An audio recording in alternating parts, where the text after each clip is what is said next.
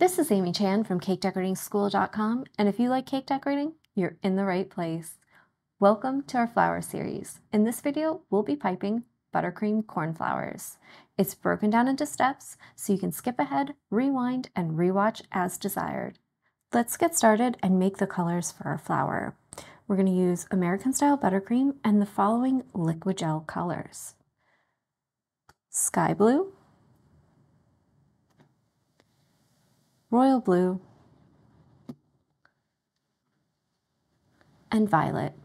And we're going to create two shades of a nice kind of periwinkle purple, one light for the petals and one dark for the center.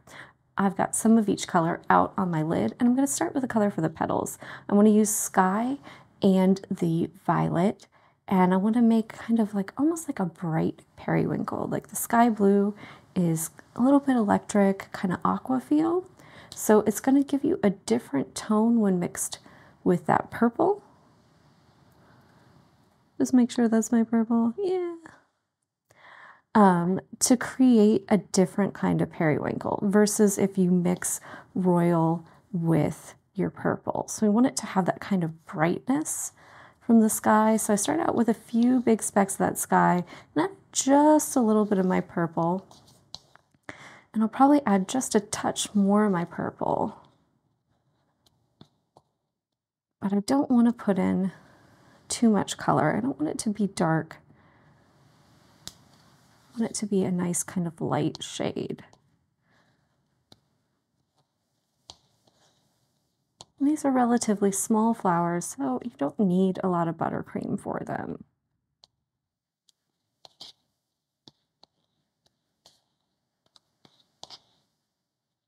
We're getting there just a little bit further with our purple. It's just starting to get that periwinkle vibe and move from being a blue to kind of a light purple.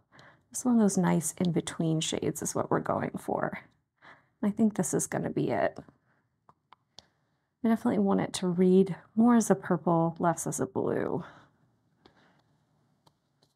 And that's going to be a beautiful shade for our petals. Now we're going to make a darker shade for our centers. And for this one, we're going to use the royal along with the purple. So we definitely want more color here. We want it to be darker. And we also want to change up the blue we're using to kind of change the tone of it.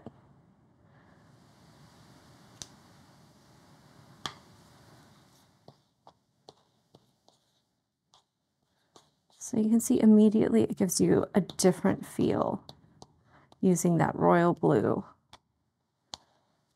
with our purple. And it's looking good. just going to need a little bit more color to get it where I want it to be. I want it to be significantly darker than the first shade that we made so that it really pops out against those petals.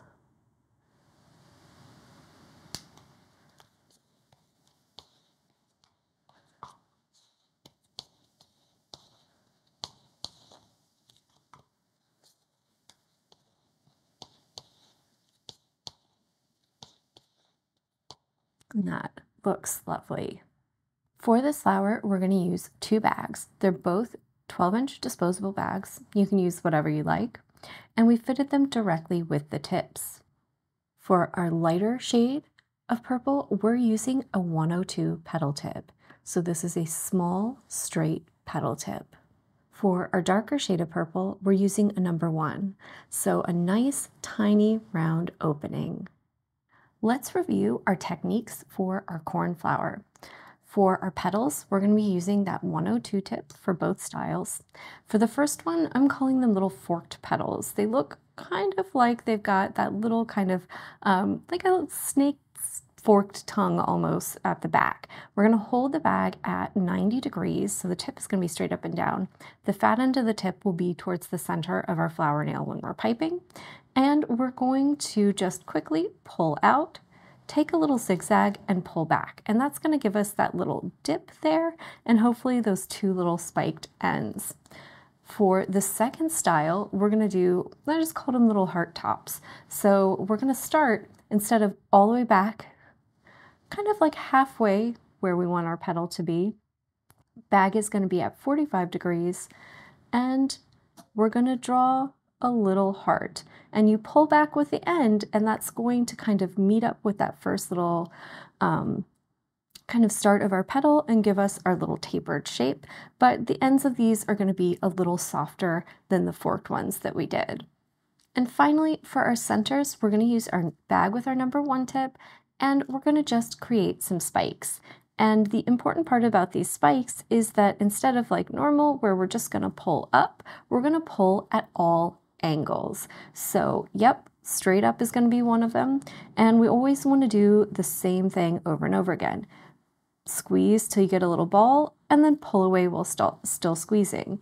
Except in this case, we're also going to pull straight out to the side at a 45 degree angle and straight up. And it's going to give us this nice kind of hairy center with a lot of interest, a lot of detail, and a lot of movement because all of those little spikes are going to get pulled at different fun little angles. And it's going to kind of create the illusion of that center opening up for you.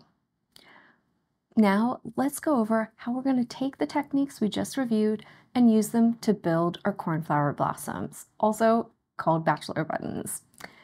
We're going to start out with our 102 tip and do a layer of petals all around the bottom. We're going to be towards the outside edge of the flower nail when we're creating these, and we want to leave a void in the center. So just a full layer of those forked petals go all the way around, close together. For our second layer, we're gonna pull ourselves in a little bit. We're still gonna do our little forked ones. They might be a little less precise since we're piping on top of frosting and not directly on our parchment paper, but that's okay. So they're gonna start a little further back, so kind of in the dip, come up on those, and we don't wanna go all the way out to the edge. We wanna just go kind of maybe like, no, no, like leave like a little bit of like maybe an eighth of an inch there so they're just a little bit shorter. Go all the way around and if you can, do them offset from the first layer. So it'll give them a little more interest, kind of help you build them up if you start between two petals and try and keep it that way. But if you get a little off as you go, it's not a big deal. We're actually going to cover these up. So we're gonna keep with our one or two, but we're gonna do those little heart top petals now. And we're gonna start towards the um, edge of our second layer of forked ones, do those little hearts and pull it out past the edge and then pull all the way back. And we should get close to filling up the center at this point, but if there's still a little gap in there, that's totally fine. You wanna go all the way around again, and what this does is create the illusion of fullness and separation between the petals. We have this smaller layer in here that's just kind of a little bit smaller, and it should create a tiny bit of a gap or the effective one, so that the flowers have some fullness. And because we started a little far out, left that gap in the center, and each time we did petals, we're gonna pull a little further down, it starts to create an angle so that we're kind of have this little wedge shape to those petals and they kind of flow down towards the center. So it's gonna create this nice little area in here, this little dip where we then can put on our centers. So it's really important as you're going, especially to start with, leave a little hole in that bottom layer so that you can set up the angles for those petals so you have this nice effect of an opening blossoming flower. We're going to finish things up with our number one, and we're gonna pull those spikes at all angles. So we want to start kind of at the base of the petals, wherever they end, and pull directly out and kind of mimic the angle of those petals. I might just flick up a tiny bit at the end to give it some separation between the frosting, but for the most part with that first row layer around, go all the way around, right, right along that angle. And then the next one, just a little bit of separation. So just pull it a slight angle away from them. Third is probably gonna be 45 degrees. Fourth one might be straight up. And we want some of them to be just straight up and short and some of them to kind of curve in. And that's gonna give us a nice frilly kind of fun and wild center in that darker color. And that's how we'll build our cornflower blossoms. Now that we've reviewed our techniques, let's actually try piping one. I have my smaller flower nail, it's my two inch nail. I've got my bag with my lighter color and my 102 tip ready to go. I'm gonna hold it for this first layer straight up and down. And you can see I'm gonna leave kind of a void where I can see the frosting that's attaching my parchment to my nail in the center. So I want to start out a little bit away from the center and just go ahead and start putting on some of those petals. And I really want to make sure I'm kind of pressing down with it so that I really get that nice little fork to those. And I find that it really helps if you move kind of quickly with these.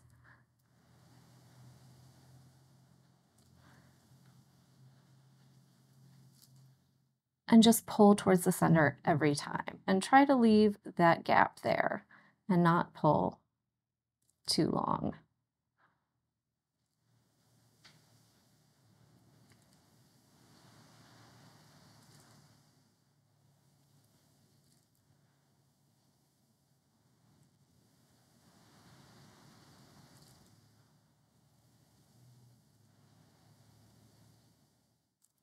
Get the last one kind of squeezed in. So you can see I've got a nice layer of those forked petals all the way around the bottom. They're not all perfectly even, but that's fine. These are kind of wild flowers, so you don't want them all to cookie cutter and exactly the same. And we've left a nice hole in the middle. So now we're gonna set up to do our second layer of petals. For my second row of petals, we're to do forked ones. We're to start just a little bit further in and we're not to pull out as far. And I want to start in between two petals, so just pick a spot and start drawing, oh, there we go, shorter forked petals. And you can see this kind of sets us up so we get a bit of an angle to these. And it's okay if these are a little messy and a little puffy. That's actually going to give you a really nice effect and some great separation between the bottom row and the top row we're going to create. And just as before, we want to make sure we leave a gap in the center.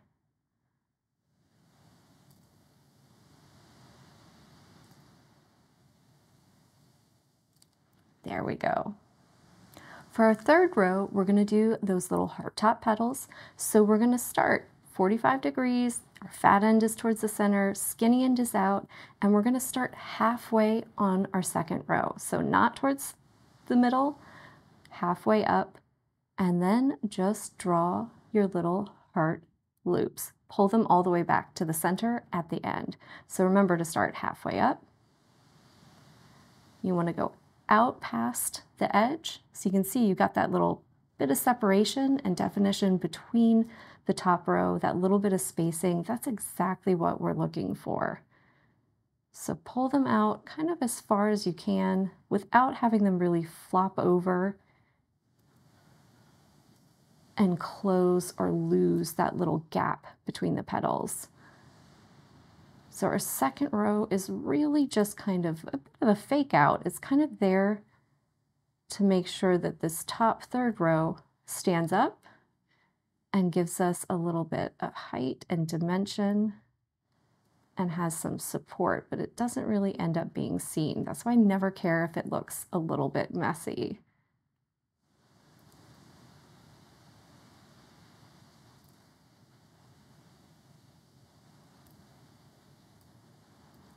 We'll just keep going around till we get back to the beginning. And if you have room for it and you need to do a last one in there and you're kind of like, oh, gonna run into the first one, rock the back end of the bag up. Mine kind of ended almost perfectly. I don't even really have room for a last one there. Um, but if you need to, that's a good way to squeeze in a petal. If you're at 45 degrees and you're to run into your first one when you're going around in a circle like this, just rock the bag up at the end if there's not quite enough room to squeak that in, and that should allow you to slide the back edge of a petal in if needed. Now that we've got our third row of petals on there, and you can kind of see there's that kind of buffer, that space in between, a little bit of air and lightness, and it gives us a nice effect with the flowers when viewed from the top and the sides. We're going to pick up our bag with our darker color and our number one and fill in the center. So let's do our centers. We're going to start at the base of our petals and pull spikes directly out. So just pull one, give your nail a little bit of turn so that you can get the next one in there. And we just want to follow the angle of the petals. So whatever they're doing, that's what you're gonna do. That's the angle you're gonna pull along for this first little layer. So just give it a little spin, keep going around until you get all the way back to the beginning and you meet up with your first one. Now that we've got a nice little layer, you can see that great contrast between the two colors. We're gonna start pulling just instead of straight out at a little bit of an angle. So each time kind of a little bit shorter, potentially.